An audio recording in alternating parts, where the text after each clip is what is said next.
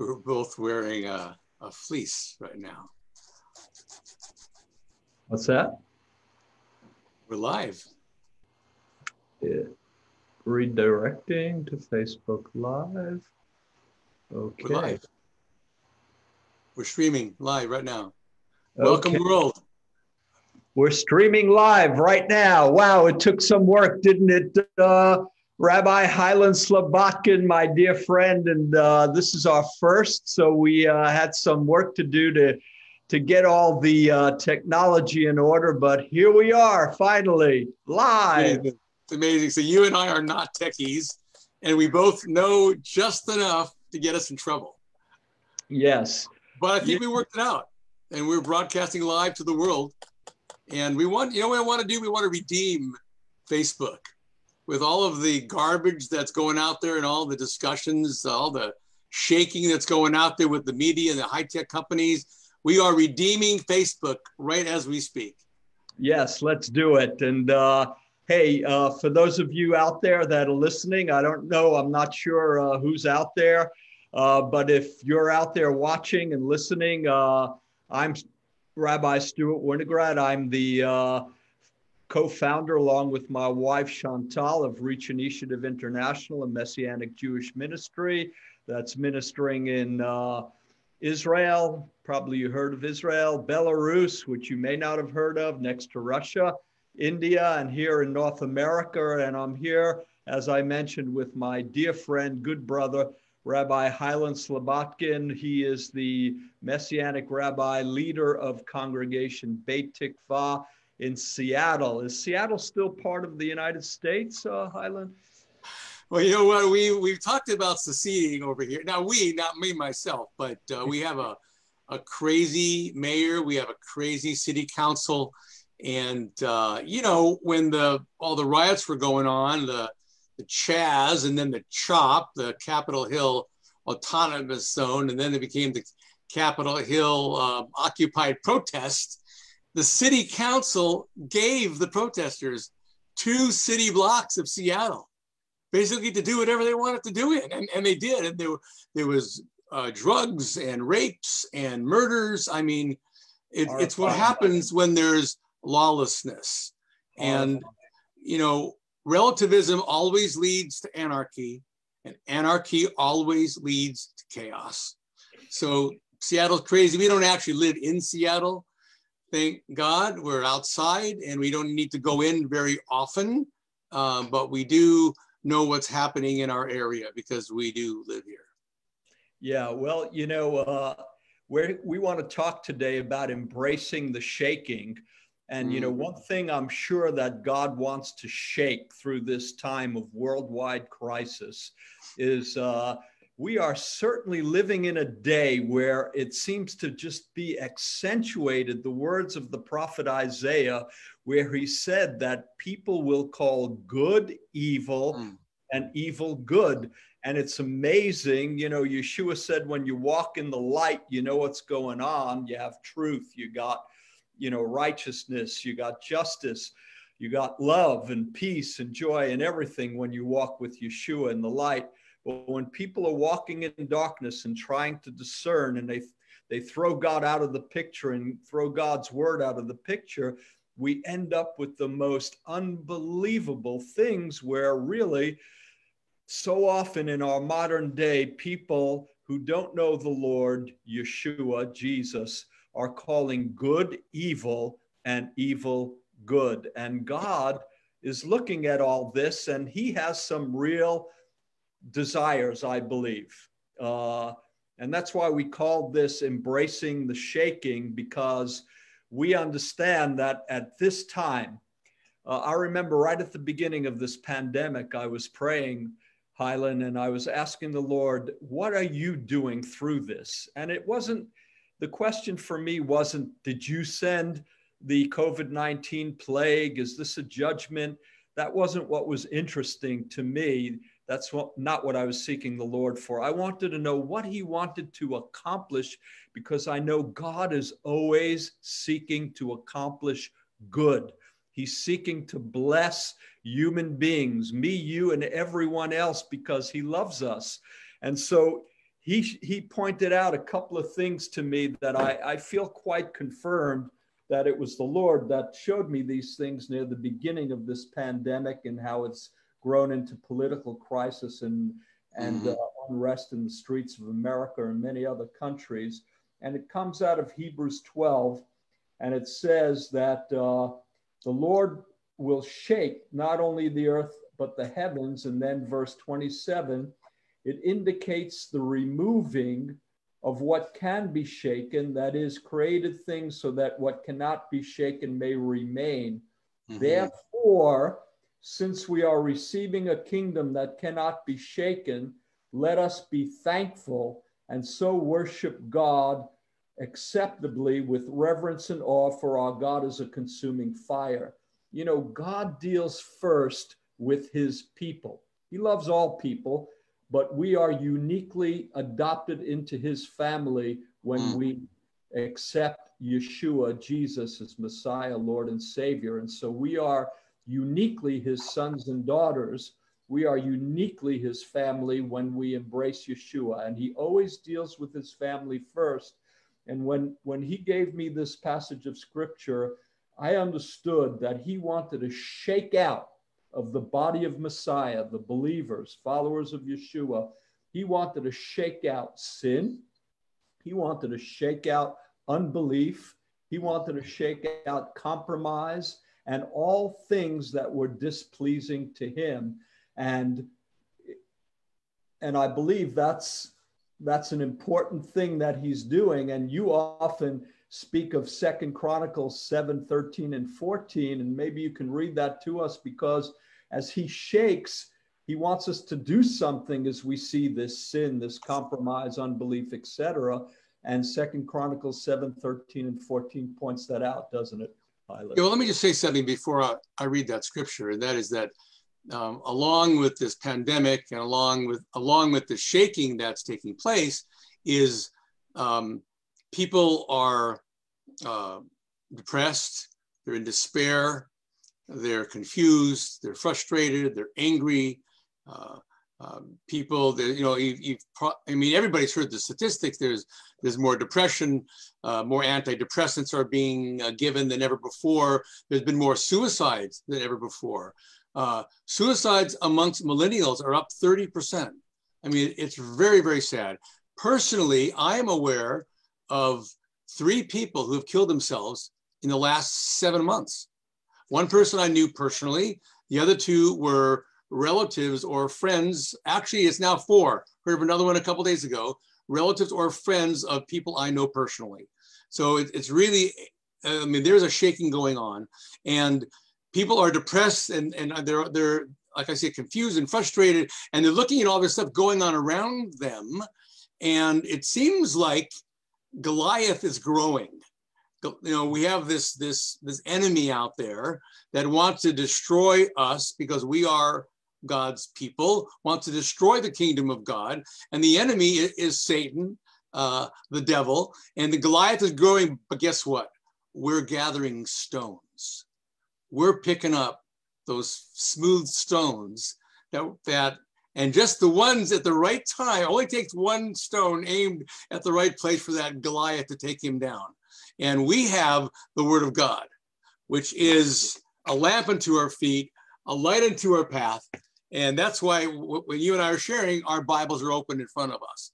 So I, I am going to read Second Chronicles 7, but I just wanted to introduce it with the fact that no matter what comes our way, no matter how much it seems like this Goliath is growing and he's nine feet tall and he's scaring everybody, um, the people of God rise up. We gather yeah, our yeah. stones and uh, we have weapons at our disposal that are designed specifically for the destruction of fortresses, for the tearing down of strongholds. Well, and let me add before yeah. you go to Second Chronicles seven, which talks about his people seeking him and repenting. Uh, you know, the next thing that God showed me, so the shaking, then the repentance and forgiveness, and then a revival mm-hmm. of the body Amen. of Messiah individually. Uh, followers of Yeshua getting revived And uh, revived is passionate, hot. And the result of being passionate and hot is that we care, we have compassion for people who are losing hope. We have mm-hmm. compassion for people, uh, greater and greater compassion for people who are, have lost their jobs during this uh, financial crisis, people who have lost loved ones, people who are sick. We have greater compassion and this greater compassion causes us to reach out with love, to lend a helping hand, to pray for these people, to practically serve, and to give them good news that there is hope in a God who loves them, who sent Jesus the Messiah to die for them, for us, because we're all sinners. And he died for our sins so that we can have renewed, deep connection with our loving Father Heavenly Father and walk in no matter what the circumstances, know that we're not alone, that God is with us. And so that's the purpose of the revival. So I often say shaking, repentance, revival, so that love and service and good news can go to the people who people you were mentioning who are losing hope and people who feel like it's better to end their lives and uh, all kinds of difficult and tragic situations. But go ahead, take a look at. Uh, let's take a look at. We can stop right now, Stewart. I mean, that was the gospel. That's our message. I'm done. that's exactly why we're here. That's what we want people to to know. We want people to hear. We want to communicate that we do have the answers. Well, not the we. Well, we have we have the answers because we know the answer and his and his name is Yeshua. You know, when I was looking for uh, truth, um, when I was on my way to India back in the '70s, looking for for something to base my life on, uh, a friend of mine asked me uh, why I had sold everything I owned, why I had bought a one-way ticket to London, and why I was going to India. I said, I'm looking for universal truth. And he said, Well, what does that mean? I said, I have no idea, but I, I, am looking for truth. I didn't know truth would be a person. Mm-hmm. We have the answer, and the answer is a person, and his name is Yeshua. Some call him Jesus. A lot of people call him Jesus. Um, we like to call him Yeshua because that's his Hebrew name because Yeshua means salvation. It's the proper noun And in Hebrew. Yeshua is salvation. So um, this is the message. This is why we're here today. And hopefully, uh, God willing, we'll be doing this again on Wednesdays. Um, uh, we'll figure out the timing. And Five we'll, o'clock. I think we got the technology down. We can actually do it at five. Hoorah! Hey, right, okay. You said it. And, uh, you know, we got to. We are followers of Yeshua, and we cannot live uh, for ourselves. We cannot live self focused and selfish. We need to live uh, in the light of His love and His word, and we need to be reaching out to people with His love and His good news and practical help like yeah. never before, motivated by compassion. Well, you talked about revival. You know, I I have a, I really can, how should I put it? I can feel it in my kishkis. I can feel it in my inner being uh, that we're on the verge of something huge, something big. I mean, people have been talking about it for years. The so-called prophets have been talking about it. This year, especially, you know, 2020, the year of vision. 2020 didn't turn out the way we had planned when we were not over yet. When we were preaching about it in, in January and February. Um, and some of the some of the so-called prophets are talking about you know, revival coming. It was supposed to start at Pentecost on Shavuot, uh, uh, 50 days after Passover. It didn't happen, but we see well, things you know, going on. I want to say something very important about that. Go ahead. Yeah, People yeah. Understand what revival is. Revival is for the believer, the follower of Yeshua. It brings us back into the state of being where we're in deeper, fuller, more often connection, kesher, with the reviver who lives in us. Amen. And so the reviver in us is seeking to revive every single follower of Yeshua every born again person. He's seeking to revive us so that our love for Him and our faith is hot and full. And out of revival, then we, we flow out into the highways and the byways, into our neighborhoods, into our universities, into the stores, into the supermarkets, the barber shops, the schools. And this love and passion drives us, just like what we saw in the book of Acts. And then God pours out his spirit even more. His spirit's in us, but he pours out his spirit even more. This is what he showed me revival of the believers. Then, as we go, he pours out his spirit even more. And then there is like just wonders, you know, signs, wonders, miracles, healings.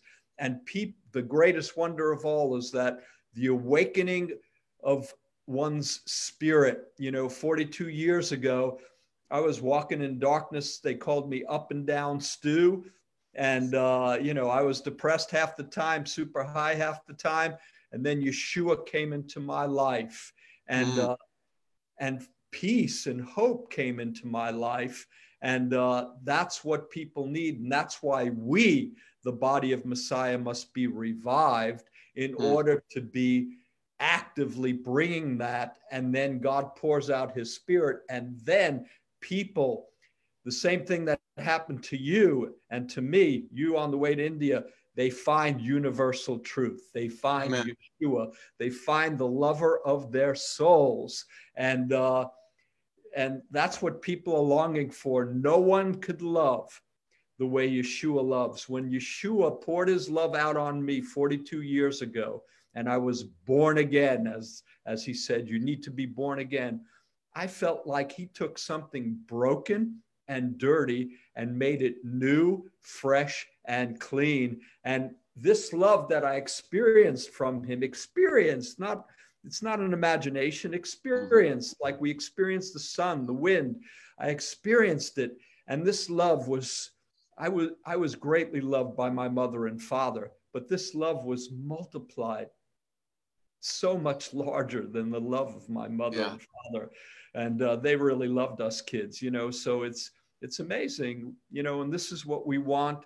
We want the body of Messiah revived. We want every individual follower of Yeshua revived, hot, hot, hot, not losing hope, but hot for the Lord and full of hope, full of love. And we want the people who don't yet know his love, whether they're scoffers, doubters, rebels, whatever they are, we want them to know that his hand is not too short to reach them with mercy and compassion and give them fullness of life.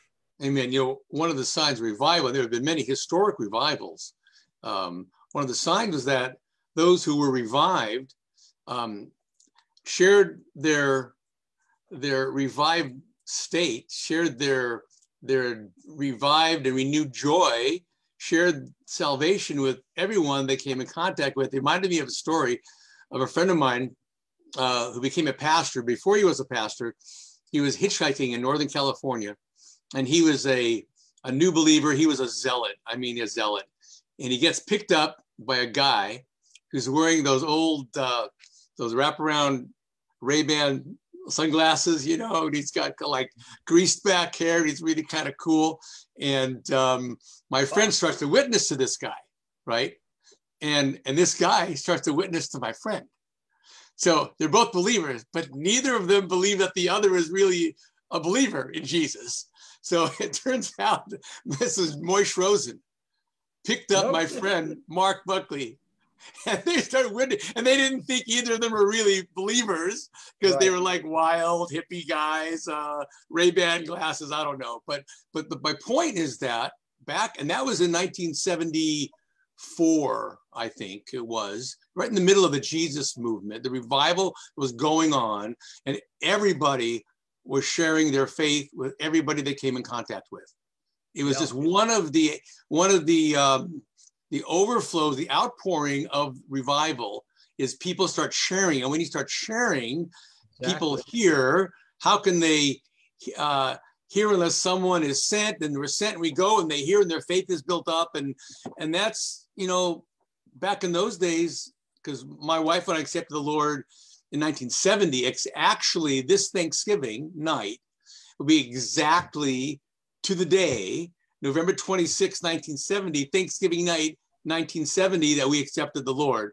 And maybe wow. some one day in one of these programs we can share our testimonies. Uh, mine's kind of wild. Uh, I'd love to. I'd love to hear it on uh, one of our Facebook lives. We're planning on doing this every Wednesday for as long as the Lord gives us kind of uh, an anointing and something to say that will be useful to those who are watching and hearing. You know, and what you were saying reminded me that. Uh, um, you know, unless someone came into my life to love on me and to share the good news of Yeshua, which I had never heard at the age of 25. It was the first time I heard it at the age of 25 that God loves me and that there was a, a barrier between me and God, and it was my sin, and that God wanted to get that out of the way. And that's why He sent Yeshua, the Messiah, uh, to die for my sin, and He rose from the dead. I had never heard anything like that. But if someone hadn't come to me and loved on me and shared that with me, hey, you know, and that's why what you said is so critical. When we, the followers of Yeshua, believers, when we're revived, we care about people's everyday life and their problems. And we care about their relationship with God and their eternal destinies. You know, I do a little test for myself. I call it taking my spiritual temperature. I do it often. When I'm with people or passing by people and I have no concern at all for them, I know I'm already pretty distant. I'm losing mm-hmm. connection with Yeshua. Yeah. But when I'm around people and I have compassion and I'm not focused on my goal or buying my tomatoes at the supermarket, but people around me count, and at least that they're getting some kind of compassionate prayer from within me I mean, there are people in a grocery store that stand on a line behind me. Do they not exist? I mean, at minimum, my I feel like if I don't pray for them and the person who's taking my money and packing my groceries, it's mm. like, what am I doing? You know? And often I, I look for a word, something to speak to them that might be encouraging. And I'm not always successful, but it's on my radar. And I understand that if, you know, I'm traveling a road, this is a journey. And if on my journey, as I'm traveling and I'm passing people to the left and the right, and I don't have love and compassion and concern for their lives and their eternal destinies, something off, man. I'm not connecting with Yeshua. And uh, so I, I, I learned to run back to him. Yeah, well, Stewart, I think that's partly why you and I are doing this together because we have kindred spirits. And I, you're, you're describing me. Wherever I go, I'm looking for some way to connect with someone so that I can find an opening, an opportunity, a word, something to share the good news of Yeshua with them. I was once in, in the local supermarket and I was, you know, I just finished the transaction. She was handing me the receipt and I said to the cashier, um, hey, um, do you believe in prayer? She'd go, well, yeah, I think so. And I said, well, how can I pray for you? And she shared this intimate hurt in her life with me. I couldn't stop then. There were people in line. I just said, you know what? I will be praying for you. So it's, uh, you never know what God is using. Now, uh, on a side note, didn't you say you wanted to try and keep these to about half an hour?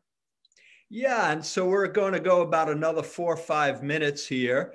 And uh, I just wanted to share this scripture, and uh, it relates to living this life of compassion and love.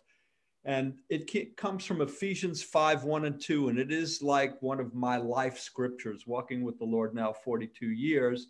And it is really the, uh, the scripture that best defines the ministry of Reach Initiative International in uh, you know a number of different countries india belarus north america and israel. And this is it. This is what we seek to live in our own broken and imperfect way. And it's what we seek to model train for those that are our disciples and our team and our staff. It goes like this Ephesians 5 1 and 2. Be imitators of God, therefore, as dearly loved children, and live a life of love, just as Messiah loved us and gave himself up for us as a mm. fragrant offering and sacrifice to God. And so I understand that this this is this is my goal in life really Hylan to be an imitator of Yeshua in my own, you know, I'm weak, but he helps. His grace is there.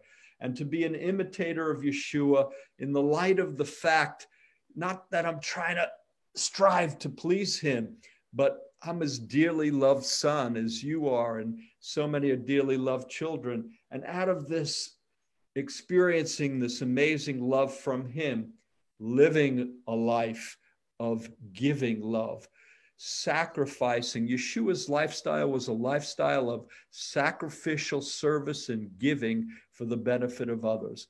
And so I seek to live this, don't always succeed, but this is what I'm after day after day because I want to love just as he's loved me. And his love is, is amazing. It's unconditional, but it's transformational. He loves me like I am, he accepts me as I am, but he's transforming me into better, better character. Oh, yeah.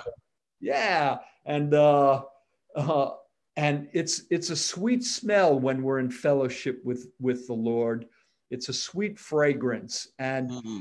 ask yourself, you know, I ask myself, when I'm around people, am I bringing a stink, you know, like rotten fish, or am I bringing a sweet fragrance of life, love, and mm-hmm. hope? And that's what I want to do. Unfortunately, sometimes I do stink like fish. And that's when I repent and, you know, ask God to help me out and get me on the right track. Well, let me say a few closing words. First of all, we'll have to get the Second Chronicles 7 next week. Next week, next Wednesday, five o'clock. Yeah, but but I want to say that in terms of roses, so I was um, in landscaping gardening for many years, and I learned how to prune roses from a member of the Rose Society. I know roses really well. I know what they need. I know how to grow them. I know how to prune them properly. And uh, all the roses that I buy and plant have a fragrant aroma. I, I know there are roses that don't smell very good and they're beautiful and gorgeous. I personally only want to plant the ones in my garden that have a fragrant aroma. And uh, so all the work it takes to plant the rose, to prune the rose, to fertilize the rose, everything that goes into creating and the working. It's like God has to prune us. You know, the uh, John, is it John 15, the vine and the branches, uh, the pruning that goes on. The same goes for roses. If you don't prune them properly, they don't grow properly they don't bloom properly, and you don't get the fragrant aroma that God wants coming out of us. Yeah. Just I mean, saying. I'm 100%. And I think that's a great lead in. Uh, I'd like to ask you to uh, pray for those that are listening or or watching and uh, will watch because we'll have this the uh, recording of this we'll have it on uh, on our Facebook and I believe you'll have it on your uh, Facebook Reach Initiative and Bet Tikva. And uh, uh, if we can figure out how to do it, but I think we will. And uh, we're getting good, Hylan, with this technology. And uh, so anyway, we'll be we'll be with folks. It'll be on our our uh, uh, Facebook pages, but we'll be folk with folks again next Wednesday at 5 p.m. Eastern Standard Time, and we'll look forward to connecting with you. Rabbi Hylan and uh, with everybody who uh, takes some time to be with us. And uh, so, if you would just close us uh, with a word of prayer, I, I, there are so many people in the body of Messiah that that need a refocus. If you would pray for them, and also for those that might be listening that don't yet know the love and salvation of Yeshua, maybe uh, oh, yeah. something about that too. Yes, Lord, Lord. So we thank you for this time together. Thank you for Stewart for initiating this and for uh, for putting this together and for his team and his techies. And God, I thank you for the opportunity here to speak your truth and to proclaim your goodness and your fragrance to a dying world. may we have that same fragrance in us as we live out the truth. You will be alive and real in us, and especially to those around us, God.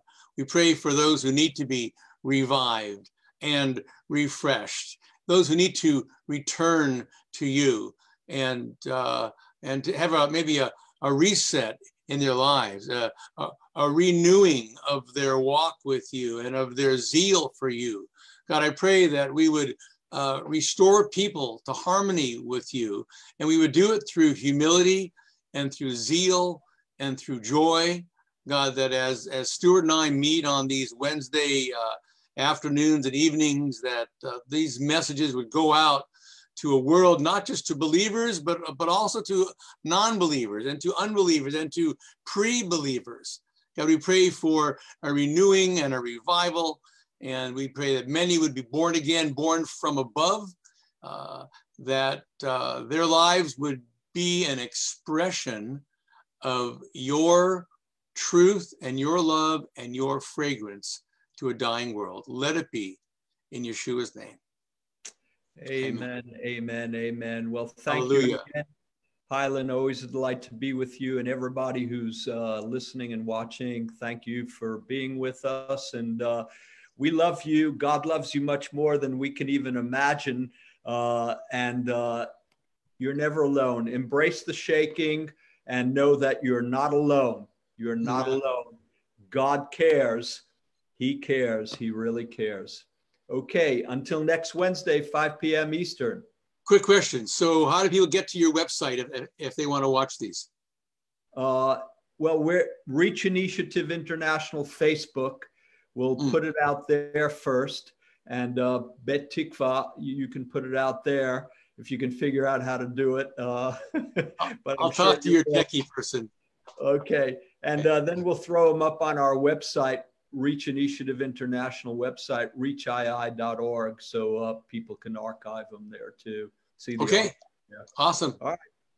Sounds great. So I'm going to end this now, and uh, shalom, everyone, and be blessed. Shalom. God bless you.